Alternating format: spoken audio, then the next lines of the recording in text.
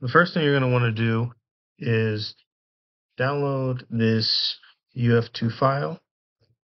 So you're going to go to this Raspberry Pi Pico or Raspberry Pi.com documentations, microcontrollers, and you'll go into once again microcontrollers, MicroPython, and then once you're in here, you go on down.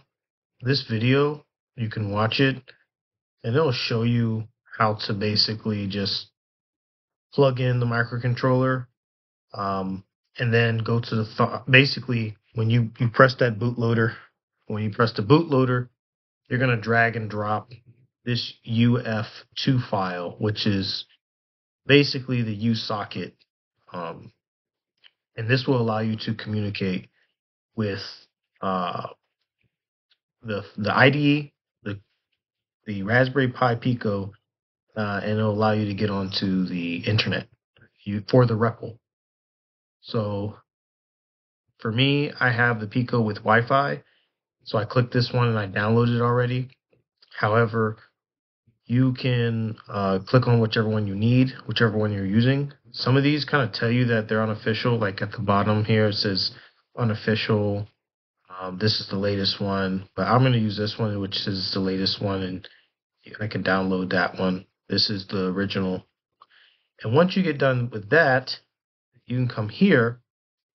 So once you drag and drop, um, which I'll have a I'll have a screenshot I'll show here.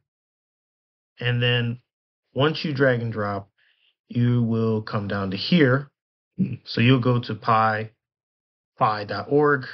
You'll go into the MicroPython Max 3102 MicroPython driver.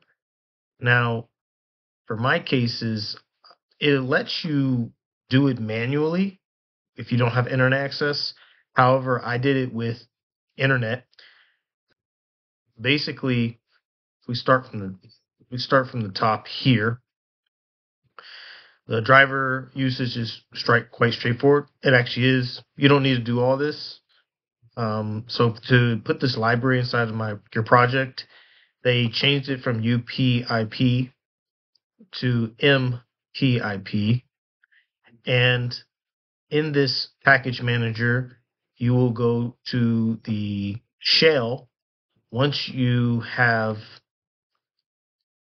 corrected the interpreter to accept the communication lines of the import MIP to the MIP install. These are the only, this is literally the only code you need to be able to upload the Max 30 102 driver because otherwise you would have to go to the datasheet and you would have to read this overarching system diagram. Um, this is basically uh, this is the application code. This is all of your programming. Uh, you have the hardware framework, which is basically like for what our case will be the Raspberry Pi Pico, and you have a driver. This driver is what allows you to communicate with the I2C port, the serial data, serial clock. So you need to configure the driver basically so that you communicate can communicate with the Max 3102. Um, and this will give you the ambient this the ambient light which we use for the human subject to get the data to the photodiode. Um, so you have to go through this whole thing you don't need all that. What you really need to focus on is this section here, your pen description to understand the pens. And then you would need to come to here so you know the registers. So if you know the registers, you can communicate depending on which uh, address you want to communicate with. And you can basically build this on your own. Um, also, if any of you actually are interested in reverse engineering the uh, Max 3102 library, I'm definitely up for the challenge if you guys are interested in a video like that. Now, moving on to the Thonny.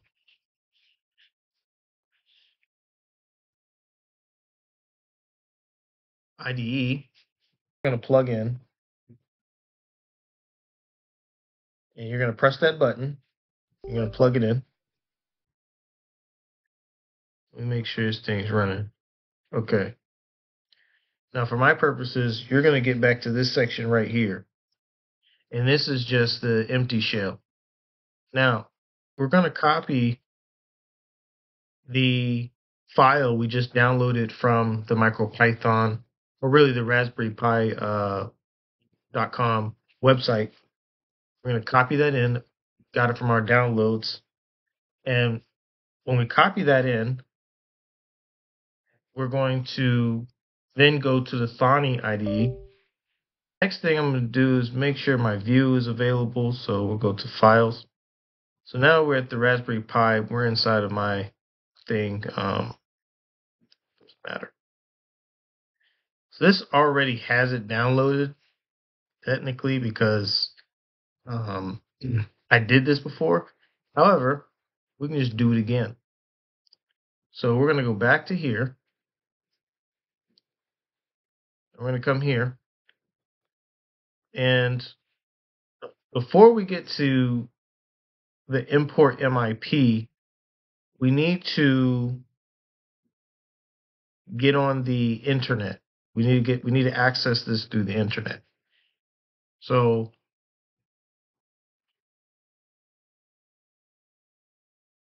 okay. So this is the error I was running into. And uh, on the thing here is what we're going to use. So we're going to copy this. And then we're going to come back to here. I'm going to paste it. Now, we're going to change our SSD and our password. And instead of having the this here, we're going to change it to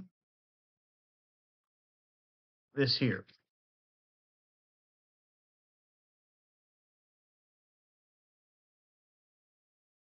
So now, hmm, okay, so now we get to our network, WLAN, true, and our SSID password. Now, obviously, I'm not going to post that here. However, you would take your password, say, for example, you'll say uh, Genesis, uh, we'll say zero, and your password would be, for example, YouTube one, two, three, right? You'll plug that in. You'll put import MIP, M, MIP install, and then you'll hit enter. It's going to access the internet or really your Wi Fi. And then it's going to go to the GitHub section here and it's going to download this driver.